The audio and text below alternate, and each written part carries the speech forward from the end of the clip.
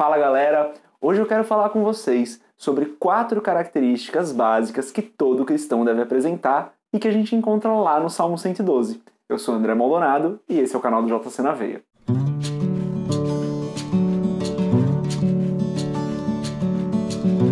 Antes de continuar esse vídeo, eu vou pedir que você faça uma pausa nele e leia o Salmo 112, está aqui na descrição do vídeo. É só você pausar o vídeo e faz a leitura. A primeira característica a gente encontra logo no primeiro versículo do Salmo 112, que está escrito assim: Louvai ao Senhor. Bem-aventurado o homem que teme ao Senhor, que em seus mandamentos tem grande prazer. A primeira característica de um bom cristão que nós encontramos no Salmo 112 é que ele teme ao Senhor. E temer ao Senhor é um assunto muito amplo da palavra, porque não fala de ter medo de Deus, mas de entender quem Ele é e reconhecer quem é Deus na sua vida. Inclusive, tem um livro do John Bevere que chamou O Temor do Senhor, que fala sobre esse assunto, e o livro é muito bom. Recomendo a leitura se você quiser conhecer um pouco mais sobre o que é temer ao Senhor e não sentir medo ou qualquer coisa do tipo. A segunda característica também está no versículo 1 e fala sobre ter grande prazer nos mandamentos do Senhor. Fala em ter prazer em ler a Bíblia, em estudar a palavra. Ou seja, o cristão deve ter prazer na leitura da palavra, fazendo isso todos os dias. Esse é um assunto que a gente já falou várias vezes aqui no blog. A gente fala disso lá no. Aqui no blog não, aqui no canal do YouTube. E a gente fala várias vezes lá no blog também.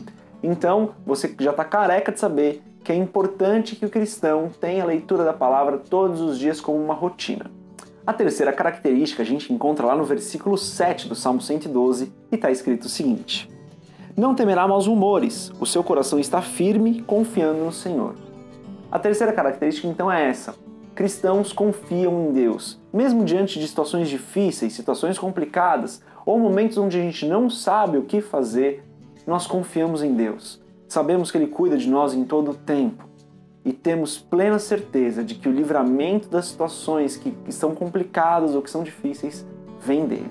Então, confie em Deus e saiba que é Ele quem cuida de você todos os dias. Essa é mais uma característica que nós encontramos lá no Salmo 112 de cristãos que são sérios, que levam a palavra de Deus a sério. A quarta característica nós também encontramos no versículo 1. E se fizermos uma leitura rápida, é capaz dessa característica passar sem que nós percebamos.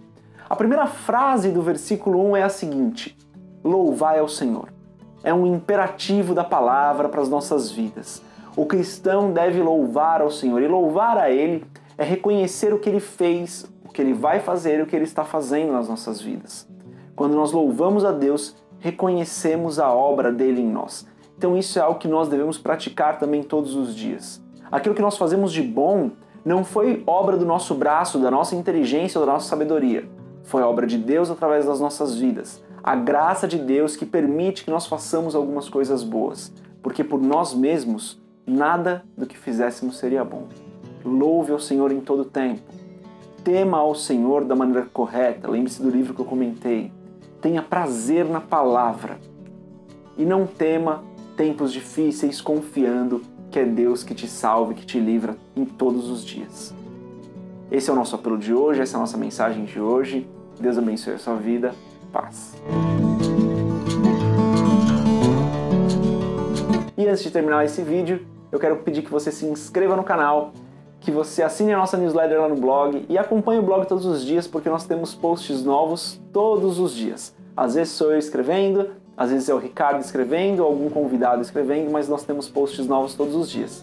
Eu queria agradecer também todo mundo que comprou o livro e se você já leu o livro, manda pra gente o que você achou, comenta com a gente. E também, se você tiver alguma ideia de vídeo, como algumas pessoas têm pedido, comenta aqui embaixo que a gente vai ter o maior prazer de gravar.